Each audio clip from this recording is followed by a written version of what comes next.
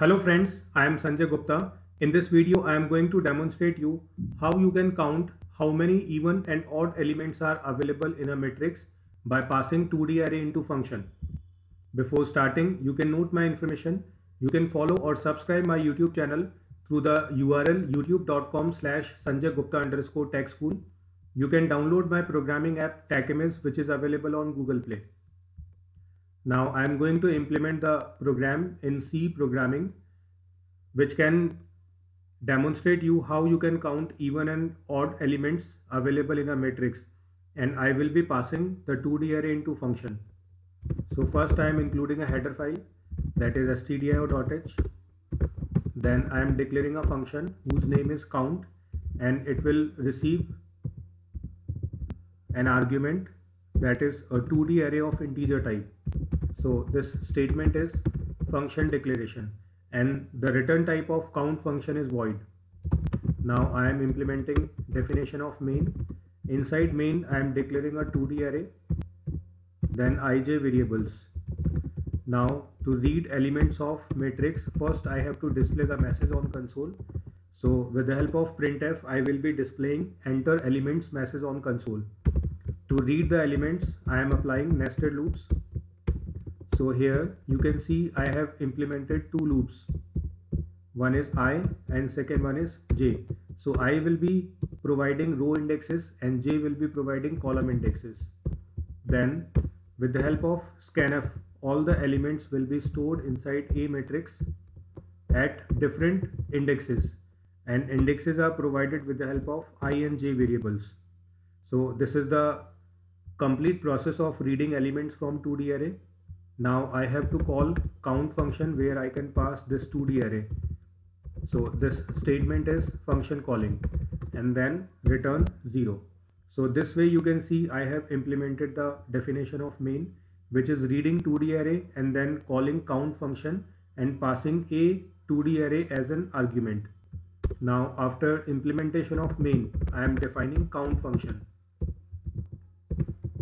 So this block will be known as function definition. Inside this block, I am declaring some variables. So you can see I have initialized C1 and C2 with 0. So C1 will be counting quantities of even values and C2 will be counting quantities of odd values. For logic, I am again implementing nested loops. So here you can see I have implemented i and j loops. So i will be providing row indexes and j will be providing column indexes. Now for logic, I am applying if condition which will check whether the element is divisible by 2 or not.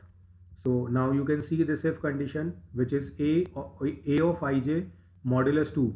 So if a matrix ij position is divisible by 2 then that number is even. So I can write c1 plus plus else I can write C2++. So now you can see this logic.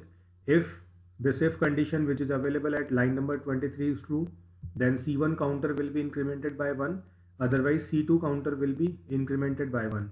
So C1 is counting even values and C2 is counting odd values. So after completion of these loops, I can print the counted values on console. So even quantity equals to percent %d slash n odd quantity equals to percent %d then c1 comma c2. So this way I have implemented the complete code in front of you which is counting the quantities of even and odd values available in a matrix. Now I am executing this code. So I am entering values so you can see even equals to 4 and odd equals to 5. So 2, 4, 6, 8, only 4 even values are available, available and 1, 3, 5, 7, 9, 5 odd values are available in this matrix. So you can see the program is working properly. It is showing the correct results on console.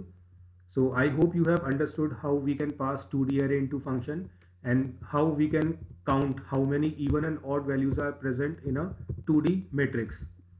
So If you want to watch more programming related videos, you can follow or subscribe my YouTube channel through the URL youtube.com slash Sanjay Gupta underscore tech school. You can download my programming app TechImage which is available on Google Play. Thank you for watching this video.